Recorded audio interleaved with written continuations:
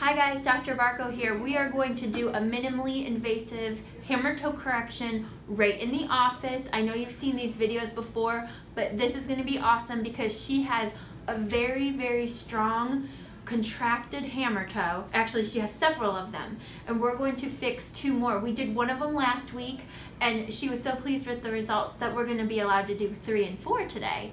So I want you guys, this is the beginning of the procedure. We do have a numbing injection here. We do have our cold spray, which I'm sure a lot of people have seen before. I just want patients to know how easy this is right in the office and we do have a very brave patient today. However, this can be done by almost anybody. So I want patients to be um, confident and not be afraid to come in and at least let us evaluate you because this is something that we do in just a few minutes and you walk the same day. So it's a lot easier than traditional hammer toe surgery. So we're gonna, this is just us showing you how the injection is done. Walk around here and come here. All right, you're gonna feel cold. and a little poke on the toe. This is medicine like you would get at the dentist when they numb you up for a cavity. So the best part of this procedure is that it's a very small numbing injection. And if it works really well and the patient does well, sometimes you can do two at once which is actually what we're gonna do today so that she doesn't have to keep coming back.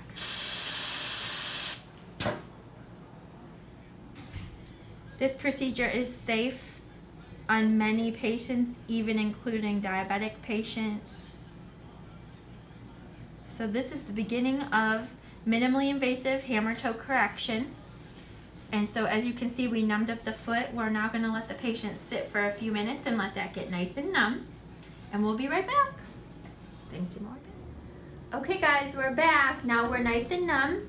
Um, and we have prepped the patient for the minimally invasive surgery right here in the office chair. So if you guys can take a look at this foot, this is the second digit that looked just like these guys one week ago.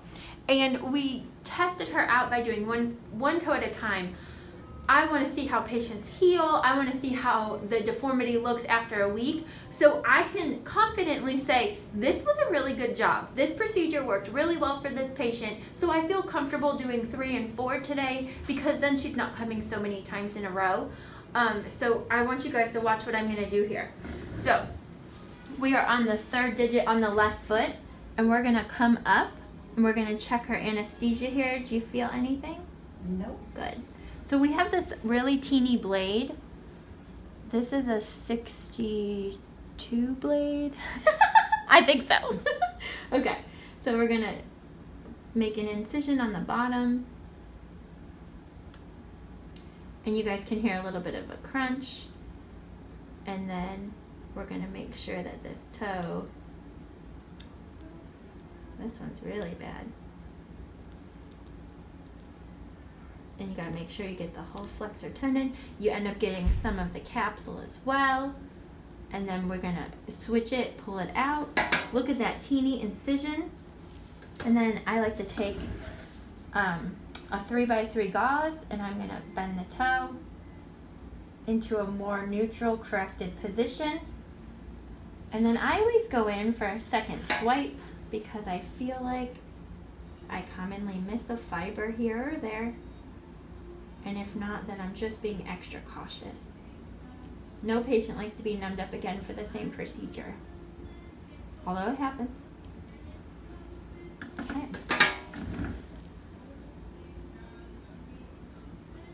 Beautiful. All right, now we're going to do number four here. Anything here?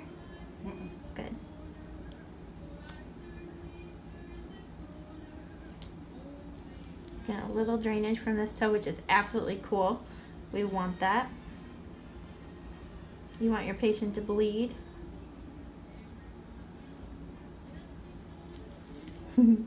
All over. These toes are so tight. I don't know if you guys can tell the tension that we're facing here. There we go. You can see that toe lift right up.